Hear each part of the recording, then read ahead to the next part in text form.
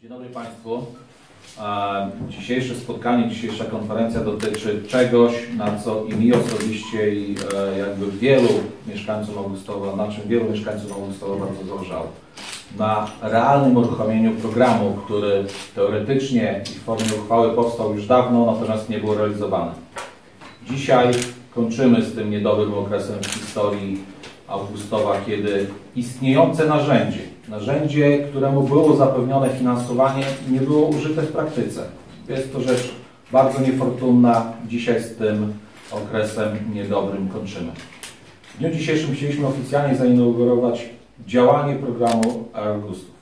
Programu, który wierzymy, że będzie pierwszym elementem kompleksowego programu, który wdroży Urząd Miejski współpracującymi partnerami który radykalnie będzie zmierzał do tego, aby poprawić stan środowiska, stan powietrza w mieście Augustowie. E, program mówi o dopłatach dla każdego mieszkańca, który zdecyduje się na jedno z czterech rozwiązań, na radykalnych, na realnych dopłatach. Myśmy przygotowując ten program e, zastanawiali się, jaka kwota mogłaby sposób taki zdecydowany zachęcić mieszkańców do przyłączenia się do programu, do wymiany źródeł e, ciepła.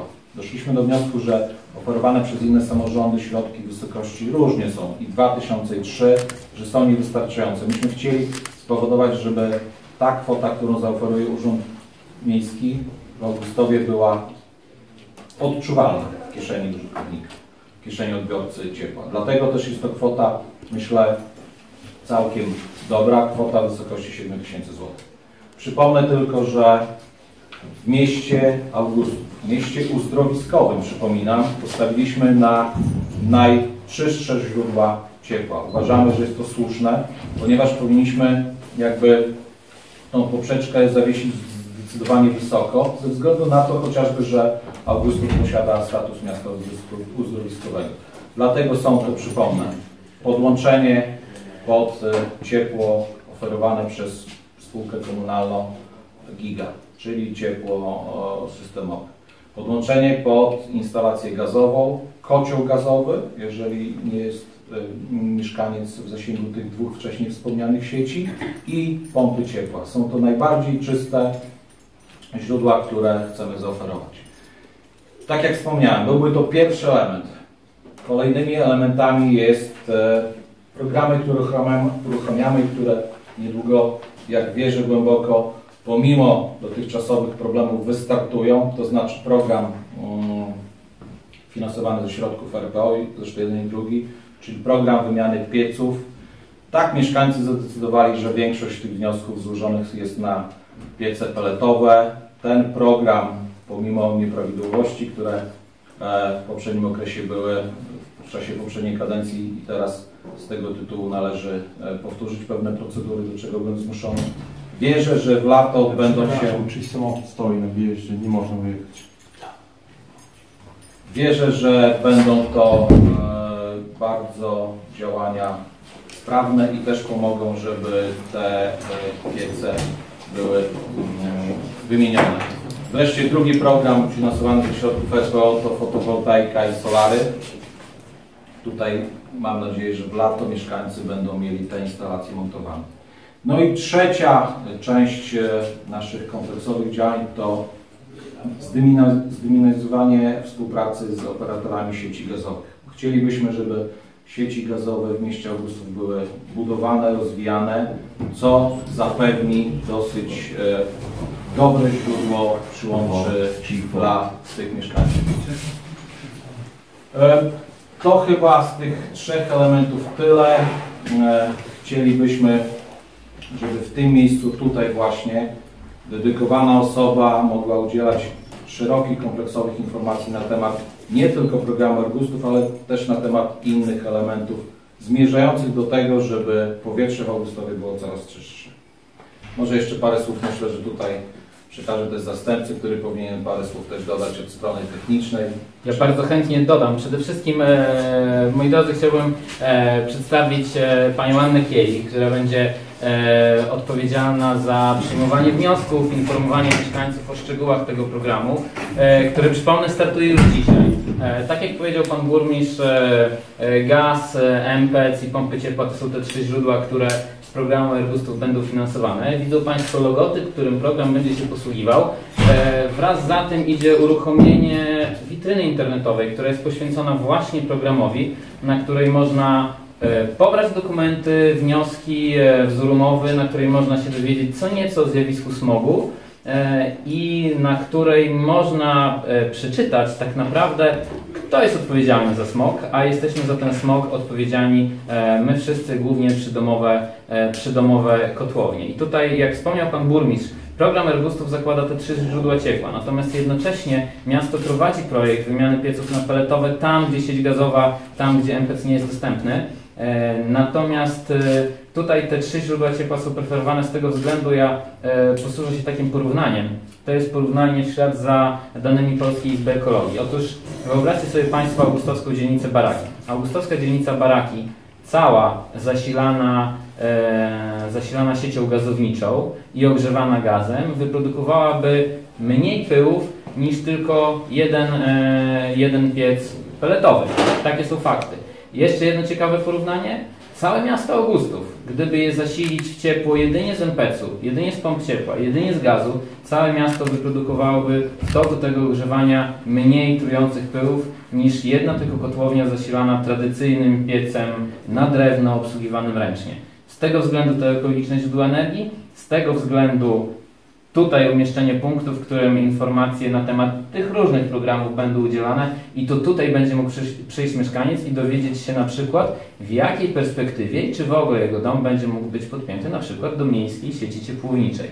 Tak, aby nie musieć odsyłać mieszkańca z urzędu miasta do spółki, ze spółki do miasta, bo on nie musiał krążyć.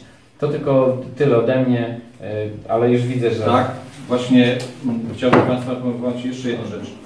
Co prawda nie mamy tutaj statycznego ustalenia, ale chcielibyśmy, żeby to również w tym miejscu był w Augustowie, nie w Białymstoku, nie w Łomży, w Suwałkach, punkt konsultacyjny rządowego programu Czyste Powietrze.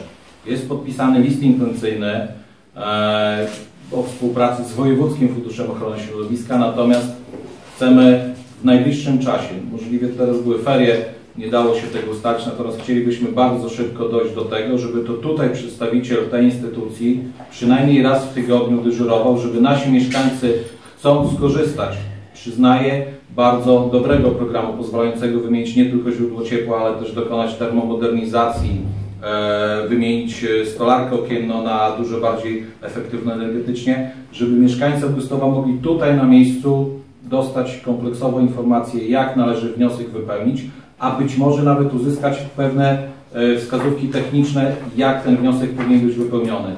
To byłoby jeszcze jedno działanie uzupełniające to, co chcemy dzisiaj zrobić. W zamierzeniach jest jeszcze dużo innych rzeczy, natomiast lubię rozmawiać o, o tych rzeczach, które są już pewne. E, Ja tylko posłużę się taką analogią, takim przykładem.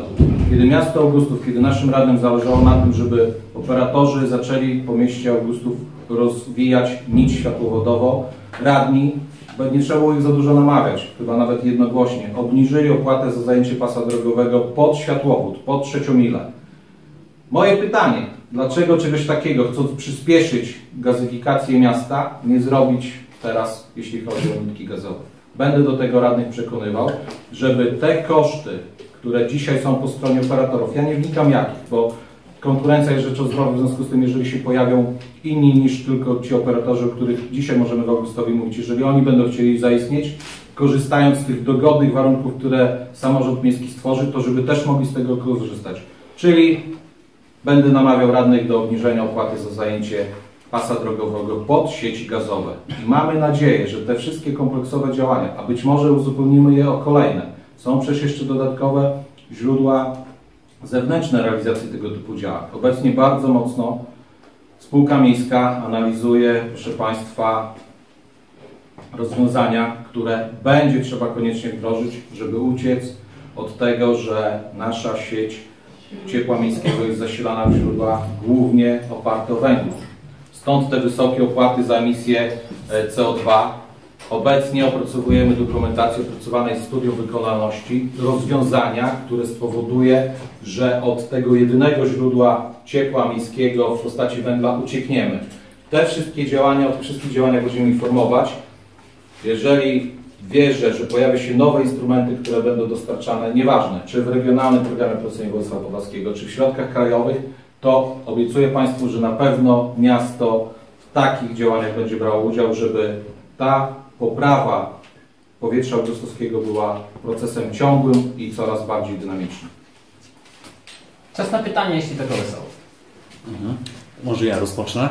E, Z tego co się orientuję, program Ergustów polega na tym, że mieszkaniec otrzyma dofinansowanie e, już po wykonaniu tej inwestycji.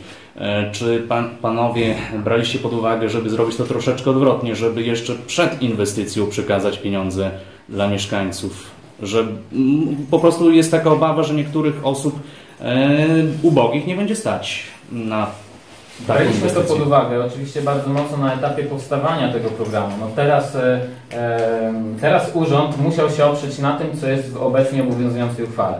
A w obowiązującej uchwale jest bardzo wyraźny zapis, że rozliczenie dotacji następuje m.in. na podstawie przedstawionych dowodów, uregulowanych dowodów wykonania usługi. Czyli ta płatność musi być uregulowana przez mieszkańca e, po stronie wykonawcy. Oczywiście zastanawialiśmy się, czy mimo tego zapisu w uchwale możemy te kolejne wywrócić, to o czym pan re- redaktor mówił. Natomiast e, wywróciłoby to nieco system. Już mówię dlaczego. Wydłużyłoby znacznie procedurę i spowodowałoby, że znowu ta uchwała musiała być od nowa procedowana. To przede wszystkim. E, A po drugie skomplikowałoby znacznie e, proces wypłacania tych pieniędzy, otrzymywania zwrotów rozliczania. A priorytetem przy uruchamianiu tego programu była szybkość działania. To jest wniosek.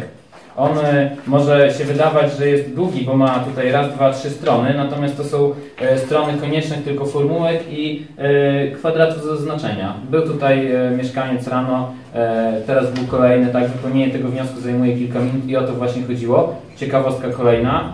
Zmieniamy system działania urzędu na taki, który jest naprawdę szybszy i sprawniejszy. Ten wniosek będzie oceniany formalnie w ciągu 7 dni. W ciągu 7 dni od wpływu e, urząd będzie już informował mieszkańca, czy formalnie wniosek jest poprawny. Także skracamy, skracamy tę drogę, przyspieszamy. To nie jest taka procedura jak w programach unijnych, która trwa, trwa, trwa i ciągnie się czasem e, półtora roku, a później się okazuje, że ktoś źle zrobił przetarg. To jest nasz miejski program, który ma być dostępny i prosty. Mhm. To może jeszcze kolejne pytanko. E, Co prawda pan burmistrz wyjaśnił, jak wygląda sprawa z e, piecami na pelet, ale wiem, że na przykład przewodniczący Rady Miasta, który jest zarazem szefem największego klubu, e, uważa, że do programu Airboostów powinien również dołączyć pelet oraz ekogroszek. I być może taka propozycja poprawki pojawi się może, na pan kolejnej sesji. e, pozwoli, to również na to pytanie odpowiem. E, Dziękuję. E, Sprawa jest bardzo prosta. E, Mili Państwo, i musimy na to spojrzeć naprawdę realnie. W tej chwili trwa program e, wymiany pieców na peletowe, finansowany, współfinansowany przez Urząd Marszałkowski. W tym programie e, ostatecznie będzie prawdopodobnie e, wymienione sto kilkadziesiąt pieców na piece peletowe. Gdybyśmy teraz zechcieli e, wzbogacić program Airgustów o wymianę pieców peletowych, to wszyscy zdajemy sobie sprawę, co by się stało. Wszystkie te wnioski, które są obecnie w programie wymiany kotłów na peletowe, trafiłyby natychmiast do programu Airgustów i natychmiast zostałyby skonsumowane. W efekcie mielibyśmy sytuację, w której te sto kilkadziesiąt pieców, które i tak będzie wymienione w tym roku, w wakacje, na kotły peletowe, zostałoby wymienione na kotły peletowe, ale nie za pieniądze zewnętrzne, tylko za ten milion dwieście pięćdziesiąt tysięcy złotych, które jest w programie Airgustów. W związku z tym, jak podliczymy sobie wszystko per saldo, miasto wydałoby milion dwieście pięćdziesiąt tysięcy złotych, a osiągnęło ten sam efekt, który teraz osiąga z pieniędzy zewnętrznych. W związku z tym, już abstrahując od tego, że jeden piec na pelet to 2,5 tysiąca e, kotłów gazowych, jeśli chodzi o emisję, to abstrahując od tego, było to, byłoby to absolutnie nieracjonalne. Byłoby to po prostu ze stratą dla miasta. Mhm. To może jeszcze panowie, gdybyście mogli powiedzieć, jak wygląda sytuacja e, finansowa spółki e, MPEC w Augustowie. Właśnie pan burmistrz wspomniał te wysokie opłaty za emisję dwutlenku węgla do atmosfery. Pamiętamy, że w tym roku nie było wpływu e, z dywidendy do budżetu miasta. Czy bierzecie pod uwagę, albo władze spółki biorą pod uwagę budowę na przykład kotła na biomasę, żeby wymienić te źródła energii? No i w końcu pytanie, kiedy poznamy nowego prezesa spółki MPEC? Czy coś Panom już na ten temat wiadomo, bo od listopada spółką kieruje prokurent? Może ja odpowiem na to pytanie. Sytuacja no, rzeczywiście spółki pogorszyła się, biorąc pod uwagę to, co było wcześniej. E, Jakby głównym czynnikiem wpływającym na to jest, są wzrost opłat za emisję CO2. E, Obecnie te opłaty jeszcze niedawno były na poziomie najpierw 8 euro, 15, obecnie sięga to 23-25 euro. Natomiast drodzy Państwo, jest pytanie, czy nie będzie jeszcze wyżej. W związku z tym musi, musi ta spółka uciekać od tych opłat. Koniecznie trzeba doprowadzić do tego, żeby system ciepła miejskiego Łusowskiego był systemem, to się nazywa sprawnym energetycznie. Chodzi o to, żeby co najmniej 51% ciepła dostarczonego pochodziło ze źródeł ekologicznych. Najprostszym czynnikiem e, jest biomasa. To jest stosunkowo najszybsze do osiągnięcia. Natomiast ja o tym trochę wspomniałem. Obecnie spółka zamówiła jest w opracowaniu studium wykonalności, które będzie zmierzać do tego rozwiązania, czyli powstania nowego, w cudzysłowie, no nie w cudzysłowie, po prostu ekologicznego źródła ciepła o mocy prawdopodobnie około 8 MW, ale zanim na tą decyzję się zdecydujemy, powstaną trzy warianty. Trzy warianty. Firma zamówienia jest tak skonstruowana, że firma na początek ma przygotować trzy warianty rozwiąza- rozwiązań. Kocioł na biomasę, kogeneracja na biomasę i e, kogeneracja gazowa. Z tych rozwiązań zostanie wybrane ostateczne rozwiązanie i tak dokumentacja na takie rozwiązanie powstanie. E, Chcielibyśmy, żeby spółka zdążyła z wnioskiem w najbliższym naborze, który pojawi się w programie operacyjnej Infrastruktura Środowisko, który będzie w marcu. Termin jest dosyć krótki, ale jest to naprawdę dla spółki rzecz bardzo ważna. W związku z tym rzeczywiście będziemy dążyć do tego, żeby taki wniosek został złożony.